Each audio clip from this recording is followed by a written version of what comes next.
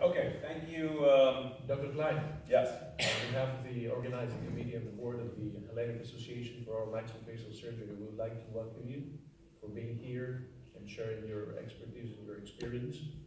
And you can deliver your lecture for about half an hour. Okay. Well, I would like to thank the association for the kind invitation. I've had the uh, the uh, privilege of speaking before you uh, prior to this, so it's an honor to be invited uh, to return again. My, uh, my task this morning is to speak about technology and, uh, and dentistry as, it, as we practice it. So let's first take a look at technology as it exists in the, in the world. So here's technology that uh, exists in the automotive industry. Do we have a sound? Yeah, I don't hear it. So this is BMW at work. This is how cars are built today. And the reason that the automotive industry and BMW thinks that it's worth investing in technology is because of the efficiency and the predictability of the outcomes that it's able to predict with the technology that we, uh, that we have.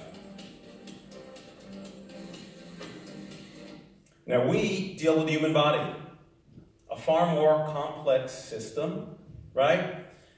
And the, the, uh, the outcome that we have is much more significant to our patients. At least I would think so uh, if it were, uh, if it were uh, my body. And so shouldn't we be going ahead and using tools to treat our patients, right, with as much care as uh, the automotive industry uses to build cars? So here's where we exist today in dentistry.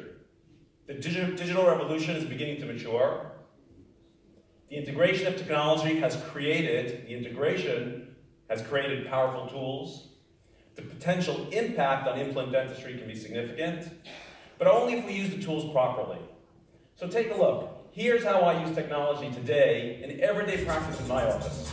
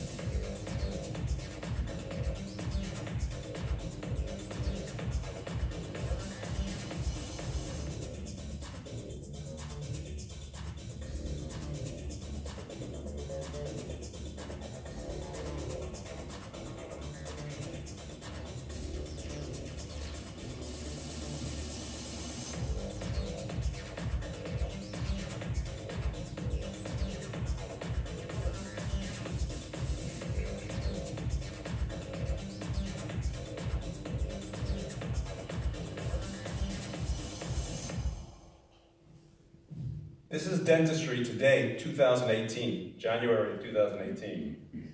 So how does technology affect, you know, clinical dental implant treatment? And so the first statement I'll make, it's not about making a hole in bone. And so I didn't come to talk to you today about how I can use a guide and put a, a hole in a precise position. But here's how I use technology today, and here's all the areas that it impacts in everyday dentistry. It's how I collect data, it's how I do restorative treatment plan because that has significant impact on surgically what's going to occur. But when I do surgical treatment planning, it affects not only the implant placement, but also hard and soft tissue evaluation. It creates clinical surgical treatment tools. It creates prosthetic treatment tools.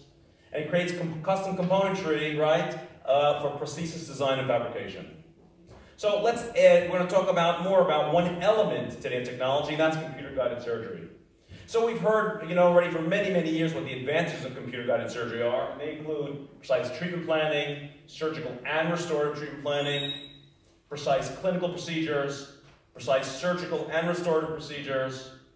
Treatment can really be restoratively driven. It's not just something we talk about. We can really have restoratively driven treatment. It complements the entire team effort through the use of technology. We can create less invasive procedures, shorter procedure times, it allows usage of custom tools and components.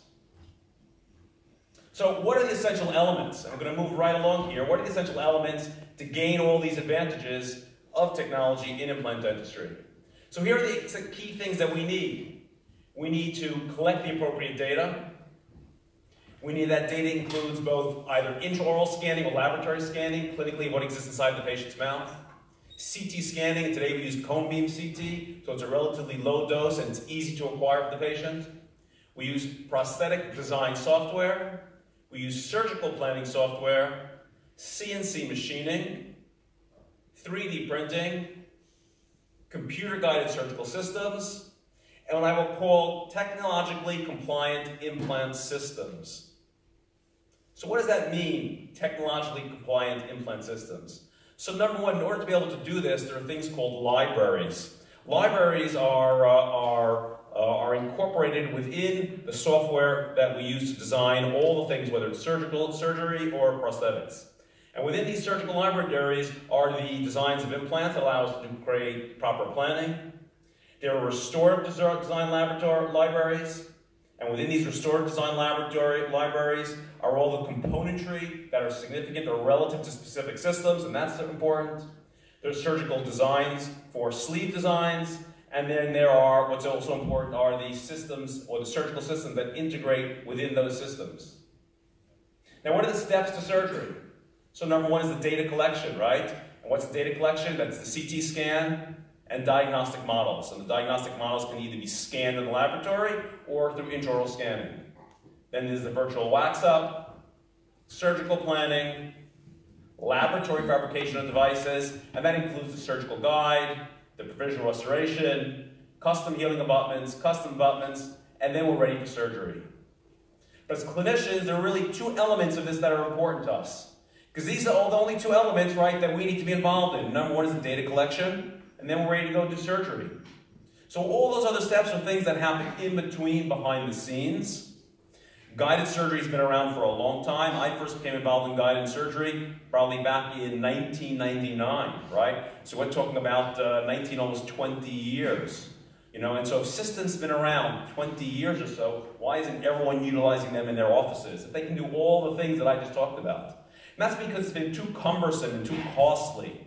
Today, because of the integration of technology, we can do it simply.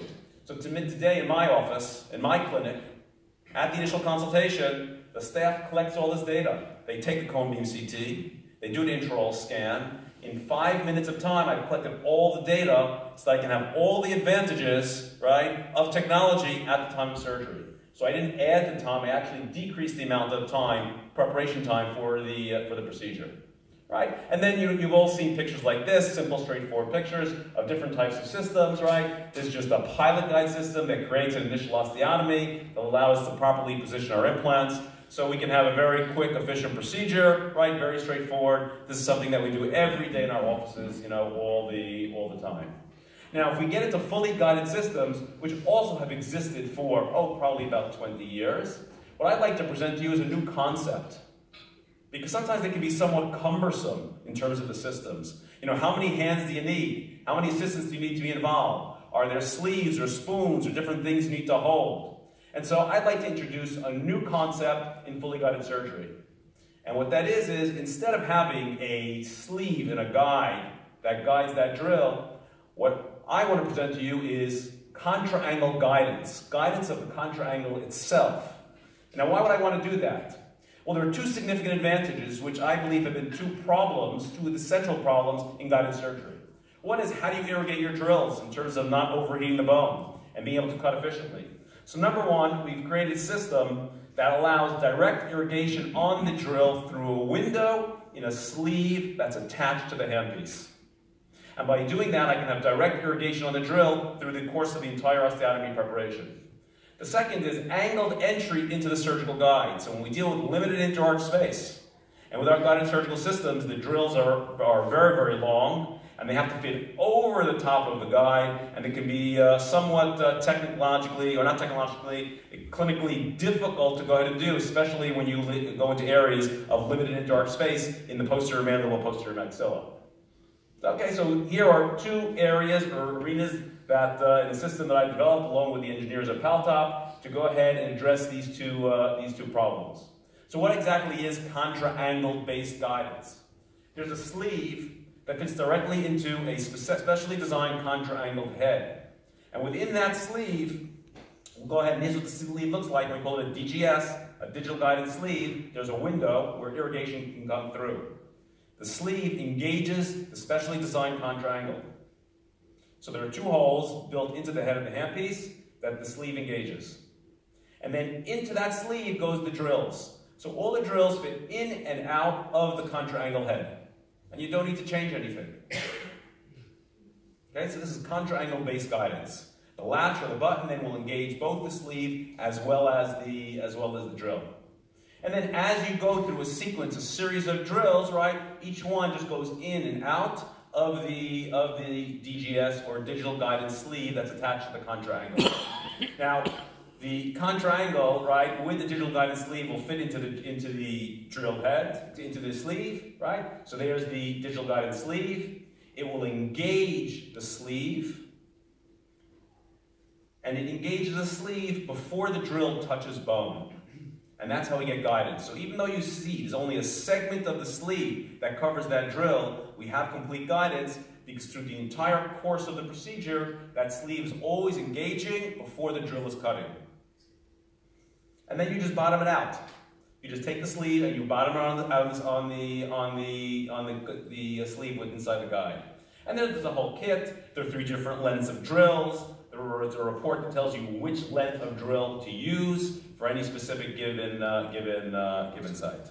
Right, so here's what it would look like.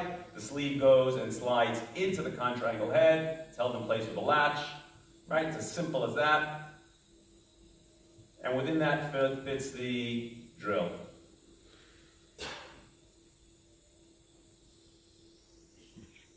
Now, once the initial hole is made, where we use a shorter drill, each drill subsequently after that already fits into the initial hole and is guided by the sleeve and gains accurate, very predictable guidance by the sleeve with inside the, uh, the overall guide.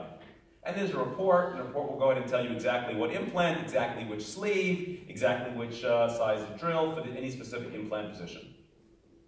Then there's also a, a kit or a tool for delivery of the implants, right? And where you see those numbers, those numbers don't indicate implant length, but it indicates the distance from the top of the guide until the top of where the head of the implant is to be positioned.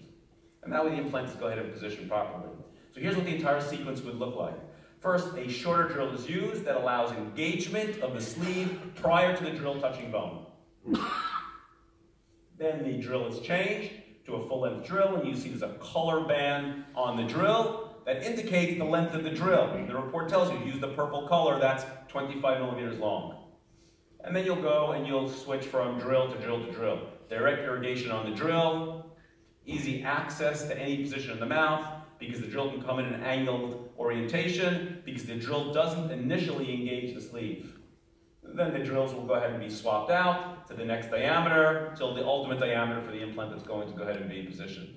So it doesn't require any additional hands, right? And it is a very, very easy flow or workflow, you know, in a surgical environment to go ahead and do all the, all the uh, preparation. And all the tools, whether they're countersinks or taps, you know, ahead are fully and completely guided, including placement of the implant itself.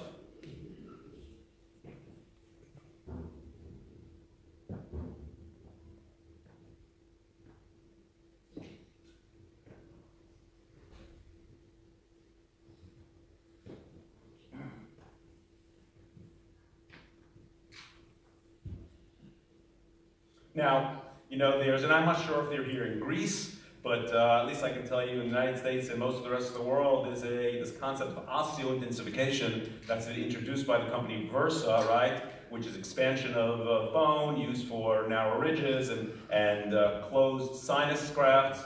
Okay, there's the Versah Densah drills. So the Densah drills actually accommodate directly with the system. So you don't only use, or you're not only limited to the types of drills that are within the kit that comes with this, but the specific drill length, 25 millimeters, that comes with the Versah burrs, or with the Versah drills, can be utilized with the system. So you can go ahead and utilize uh, this new concept as, as uh, well for bone expansion. And there's a whole kit and a very simple workflow to go ahead and utilize.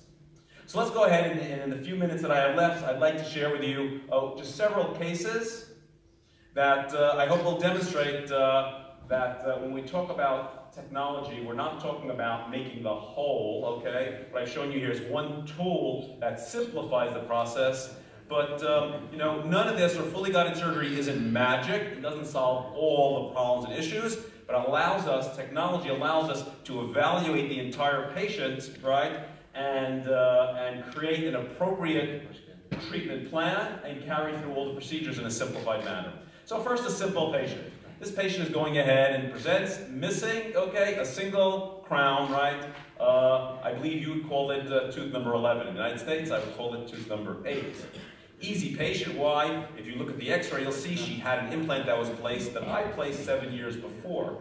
So she knows already what the whole procedure is going to be. And so we go through the whole workflow. What's the first portion I said? We go ahead and we take models. I take a digital model. I could have just as easily taken a conventional model. The laboratory could have scanned it. And they've done a diagnostic wax up. Digitally, how do they do it? They just mirror image the adjacent tooth, because that's what we want for central incisor.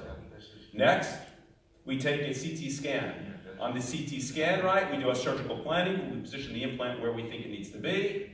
We have integrated within the concept, right, the integration of the intraoral scan with the CT scan so we can see the profile here of the tooth in proper position. We can analyze the position of the soft tissue that's integrated. We can use evidence-based measurements for positioning of the implants. Here, I'm going to place my implants generally three to four millimeters, right, in the apical position from the free gingival margin position that I'd like to establish two millimeters to the palate, so I can account for horizontal bone resorption, right? And I'm gonna place it one to two millimeters apical to the position of the most coronal bone I have in the extraction socket because of some potential expected resorption of that bone. All evidence-based measurements that I can incorporate pre-surgically.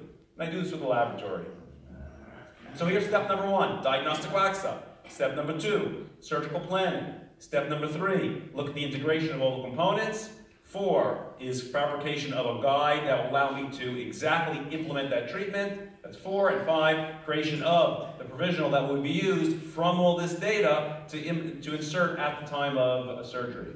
So here I'm doing an atraumatic extraction using the Benex tool, right, prevent microfractures of the buccal bone to limit potential resorption, using the guide to create the osteotomies, placing the implant, right, using ISQ values to determine if I believe that uh, I will have good predictability in terms of immediate provisionalization, right?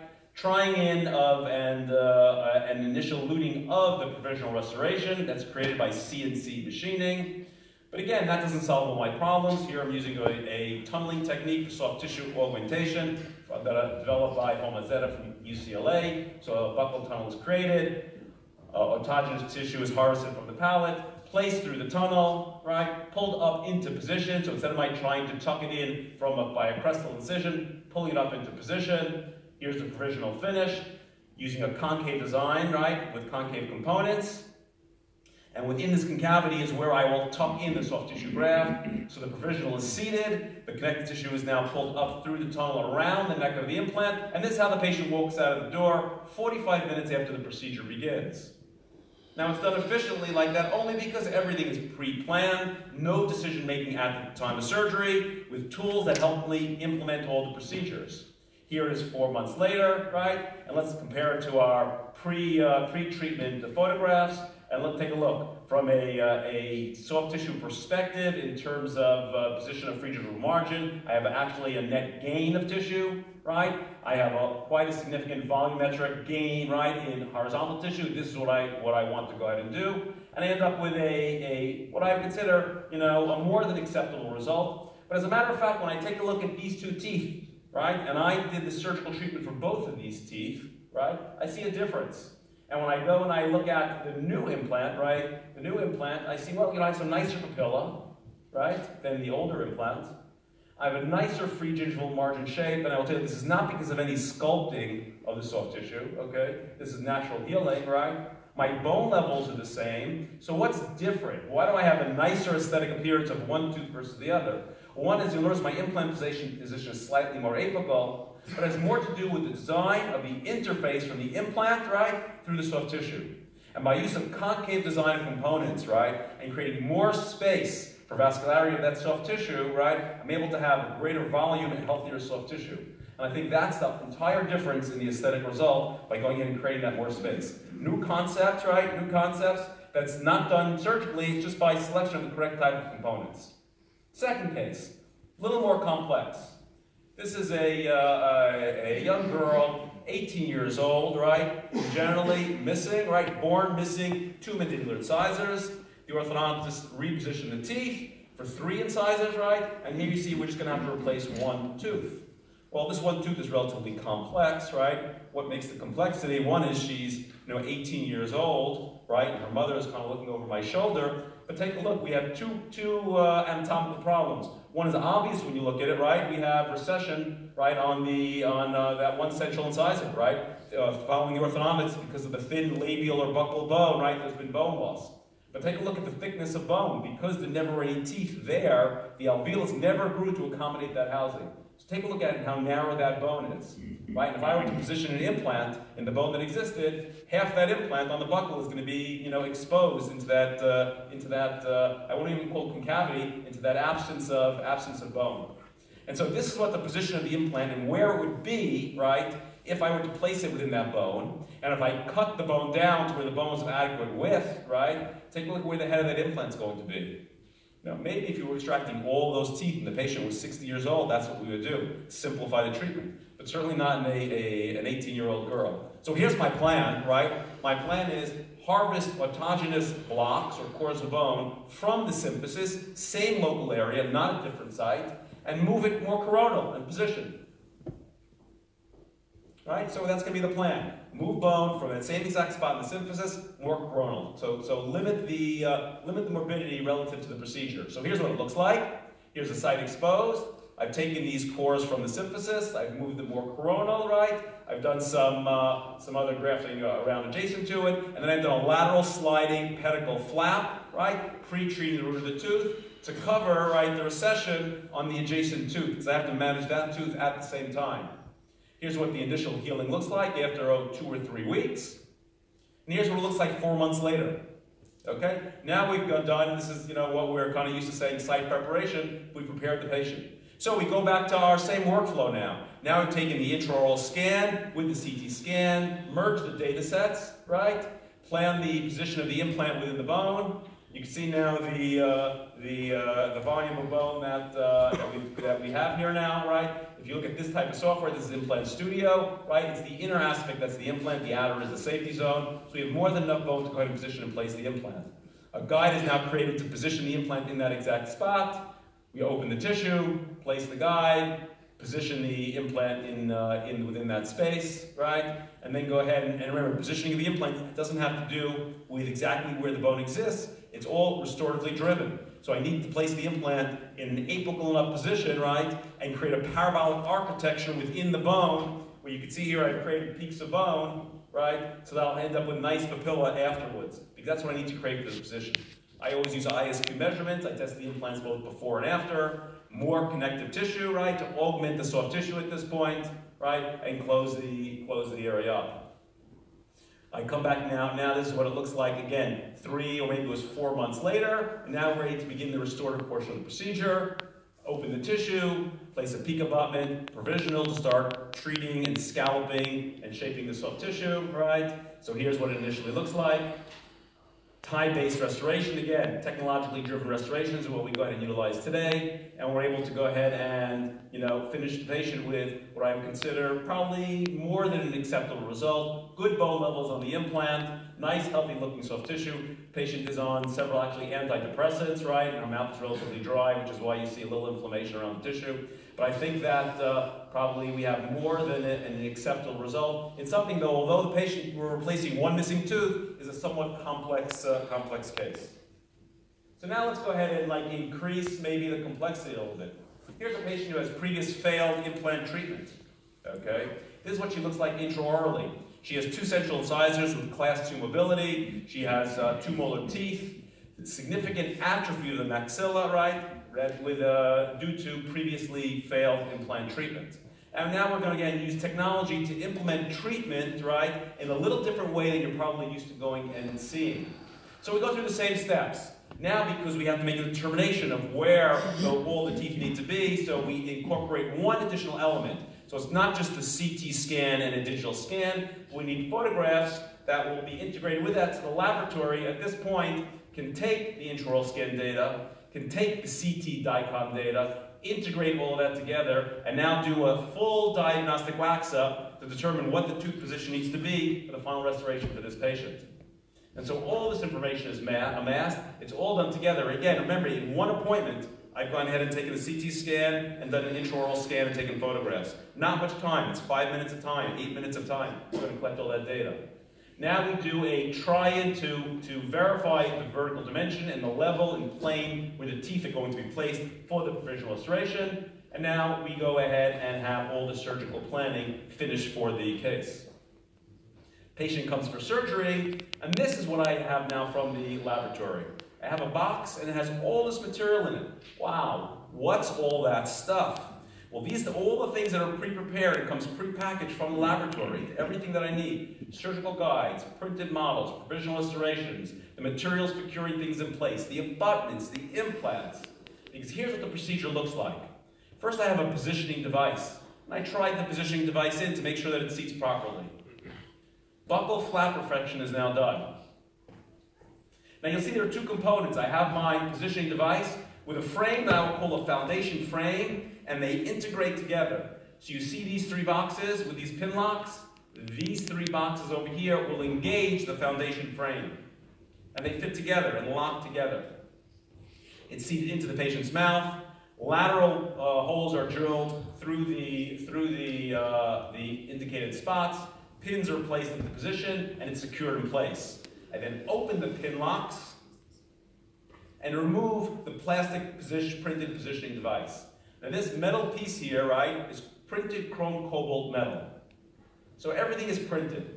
Both the plastic piece is printed as well as what I would call the foundation frame, as well as a model that demonstrates what it should look like inside the patient's mouth when it's assembled properly. Now we do bone reduction, right? First I'll use a large double hinge rongeurs to go ahead and remove the uh, you know, initial bone. And this foundation guide sets the level for bone reduction. So I know exactly how much bone to reduce because I need to go and make the bone level with that piece. So first I'll go ahead and use a large rongeurs, and then I'll finish it with a, a large uh, acrylic burr, cutting the bone down to the level of that foundation guide. Now, again, I have a printed model. And the patient's mouth should look exactly like that printed model. So you see, I've cut the bone down to the exactly the same position.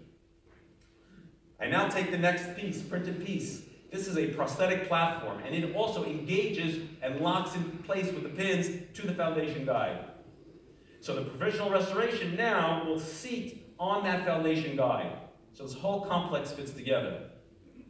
So here's the foundation guide with the prosthetic platform placed in position, and you can see these two rods that are here that allow the provisional to seat directly in place. So before any implants have been placed, any abutments placed, anything engaged, I can test out the position of my provisional restoration. So I don't have to commit at that point. Now I remove the prosthetic platform once I'm happy with that, and this is the surgical guide. Wow, looks different than any surgical guide I've seen. It's because I'm now using a metal surgical guide that'll have very precise positioning, but again, it engages the pin locks. So it's seated inside the patient's mouth, the guided kit now will go ahead and integrate with the system, right? So here I'm using my pilot drill, followed by my subsequent larger drills through the, through the system. So here's what it looks like, the initial pilot osteotomies, a very, very stable guide. There are four uh, lateral pins that are positioned to hold the guide in place. I go through the whole sequence of drilling. And again, you see, with this guided system, contrangle-based guidance, right, it doesn't require, you know, any additional hands. Implant delivery into position.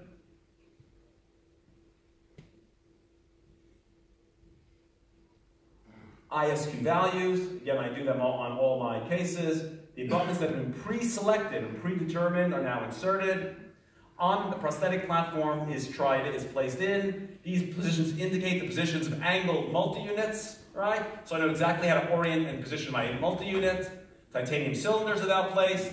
The provisional is now seated directly onto the prosthetic platform into the exact position. you can see my titanium cylinders in position the uh, blackout material so I don't lock my provisional onto any undercuts when the cylinders are, are utilized. And then a quick curing composite light cure material is injected into the holes fix it ill into position. Now, healing abutments are placed on the multi-units, the case is sutured, at the same time in the laboratory, the provisional restoration is sutured, right, and inserted into place. And that's how the patient walks out the door. The procedure itself to do all this is, oh, anywhere from two and a half to three hours to go ahead and perform a procedure like this. This is what the patient looks like after two weeks or so of healing. So someone can be relatively complex is now through technology turned into a, a very you know, predictable sequence. And there's one last patient I'd like to share with you.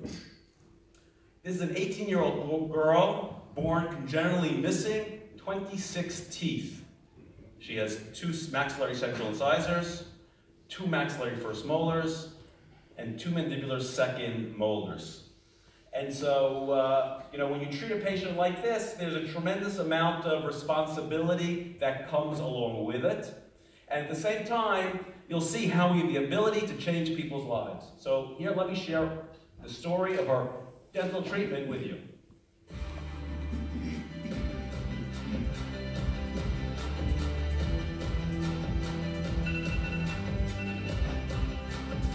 Your time is over, please conclude. The end.